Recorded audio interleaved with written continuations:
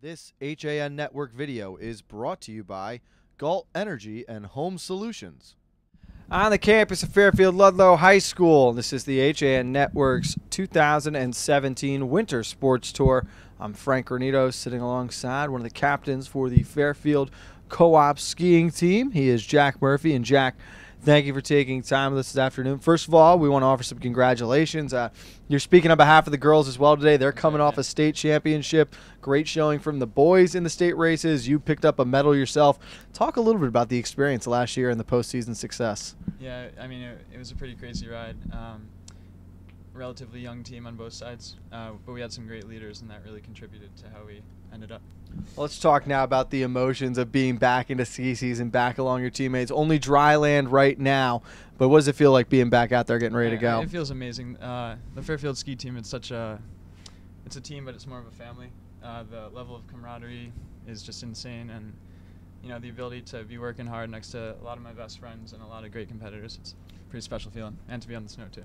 You guys are in dry land now, obviously, but the good news is we are expecting a heavy dose of snow, snow tomorrow. But good, yeah.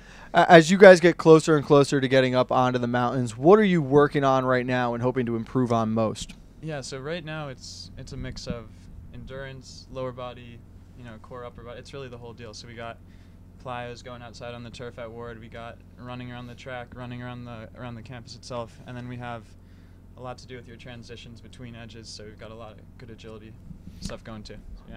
You were talking with me off the air about there being a lot of good depth coming up through the program. Who are some of the other skiers that we should keep an eye out for who could be making an impact? Um, so we've got a lot of young. We've got some great leaders, but we got a lot of young talent too. Um, got George Vadas, he's a junior. Uh, my brother Michael, he's also a junior, um, and countless more. Got Colin O'Hare, he's a senior. You know, all very solid racers, people who can really make a big contribution to the team. And then uh, from the girls' side, we got you know some good seniors. We also have Michaela Fleming, really strong jun- junior. She's really played a pretty pivotal role in the girls' team the past couple years.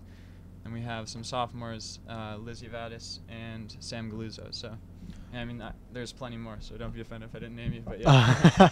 well, we're excited to see all of them. I just have one more question for you, Jack. That would be if you guys are going to be as successful as you were last season, continue to get better each race, what's one key thing you guys need to do very well this year? Yeah, so I think our preparation is there. The the fundamental skiing that that's that. Um, I think it's a mindset.